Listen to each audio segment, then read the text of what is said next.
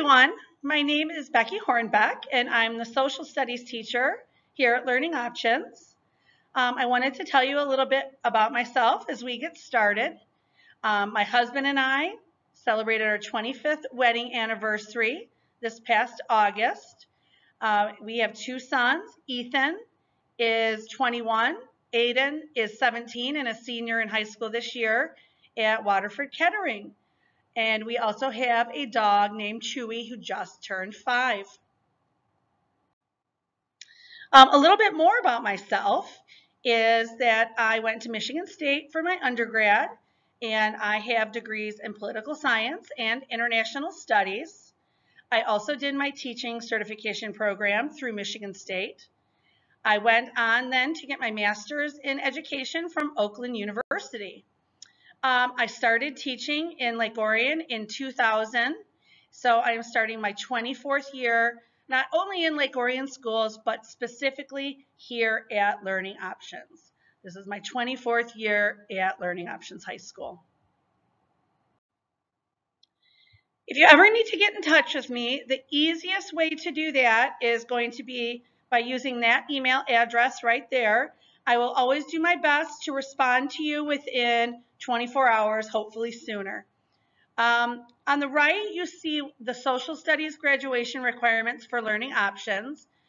Um, students are required to take a full credit of world history, a full credit of U.S. history, a half a credit of government, and a half a credit of economics. Currently, I'm teaching government and economics. I also wanted to make sure to let you know how your student will be graded in my social studies classes. Um, we do daily assignments that are turned in for grade every day pretty much. And those daily assignments could be notes, reading, discussion, uh, videos, small writing assignments, anything we basically do on a daily basis in here is going to fall under this category. And that is going to make up 40% of their grade. Tests are going to make up another 40% of their grade. And finally, we will have a final exam that will make up 20% of their grade. I am always willing to work with kids who um, have some anxiety about test taking. So if you have a student who is an anxious test taker, be sure to tell them to reach out to me before we take our first test and we'll figure out if we can give them an alternative setting or something like that that will help make them feel less anxious about taking a test. Same with their final exam. One of the things that is going to be the um, best way for them to be successful in my class is to be in class every day. I know it sounds silly, but the kids that show up here every day are generally the kids that do the best. Um, I don't give homework, which is another reason it's really important to be here every day. But I do understand that sometimes people are absent.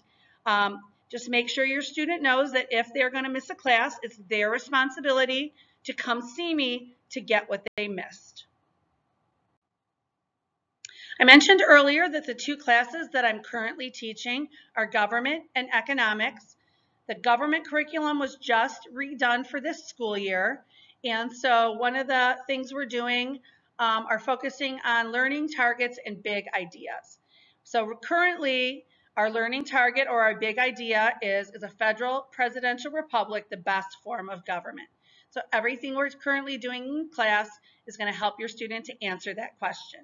And then you see units two through seven, who has the power, what branch of the government has the most power, are we a superpower, um, those are just a few of the big ideas that we'll be talking about this semester in government class. Economics, um, we also have a lot of learning targets and big ideas, and they generally fall under these categories. Right now, we're just kind of learning what is economics, what are the terms and the big ideas we need to know to understand economics. We're going to talk about making choices, we're going to talk about the different economic systems, what is the role of government in economics in the United States and around the world. We're going to do a big unit on supply and demand. We're going to talk about U.S. economic policies, And then hopefully, if we have enough time, we'll talk a little bit about the importance of international trade. I wanted to end today with a few basic classroom rules and expectations. I expect my students to be respectful to each other and to me and appropriate while they're in my class. This means in general, they should not be on their phones at all during class unless I'm having them research something for the actual class.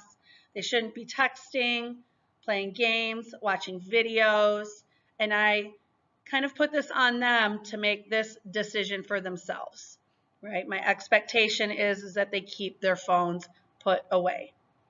Students who struggle in my class, it's usually because they're also struggling with staying off their phones.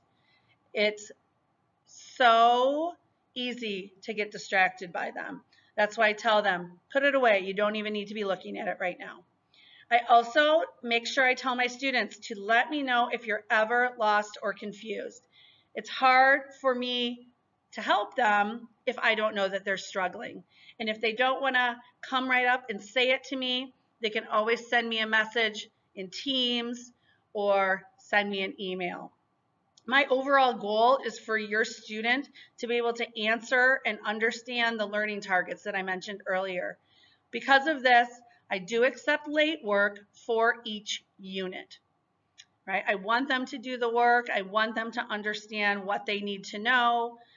But once we take that unit test and it's time to move on, I will no longer accept missing work unless there's some sort of crazy extenuating circumstance.